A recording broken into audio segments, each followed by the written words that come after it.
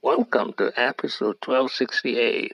Weili Dai, immigrant semiconductor billionaire, is an outline of episode 1268. There seem to be fewer and fewer women in CEO positions, in co-founder positions. What, what tips do you have? You have a couple of tips for women who aspire to be where you are. Sure.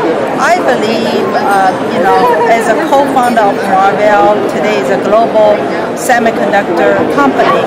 Um, my success is a teamwork, first of all, and second of all, I believe number one ingredient is believe in yourself and do what you are passionate to, you know, as. So this is very important. And the next piece is uh, it's all about dedication, uh, hard work, and uh, commitment. Great. Born in Shanghai, China 1961. and I was uh, 17 years old, it was uh, quite challenging for me in terms of language skill because I spoke almost no English. I love science and technology and math and physics, and I uh, got education from UC Berkeley uh, in computer science. I met my husband In 1995, she co-founded Marvell Technology Group with her husband Sehat Sutardja and his brother Pantas Sutardja. Both the Sutada brothers are Indonesian Chinese origin, and they both earned PhD in electrical engineering from UC Berkeley. out there. What is Marvell? Marvell, we're a top five fabulous semiconductor company in the world. We develop semiconductor solutions to the cloud infrastructure all the way to the mobility. So we're very excited. We today we're moving into a new era of digital lifestyle. So anywhere from the big screen of smart devices to the uh, mobile devices to uh, uh, communication, storage, and we have the diversity. We're a one-stop shop.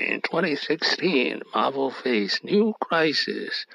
It was ordered to pay $750 million in settlement with Carnegie Mellon University after a nearly seven-year lawsuit accusing it of infringing two hard disk drive patents.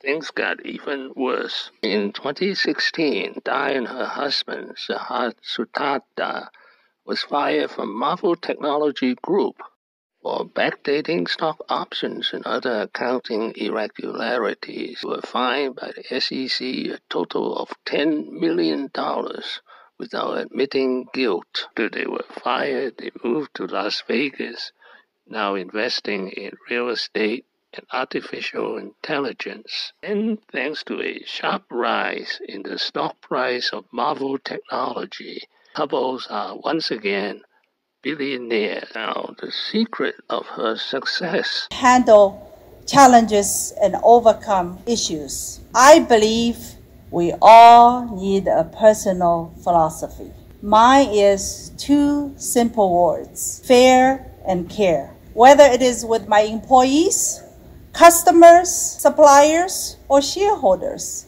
and even with competitors, I always take the long view and work for a win win outcome. Thank you for watching. Please subscribe and leave your questions and comments below.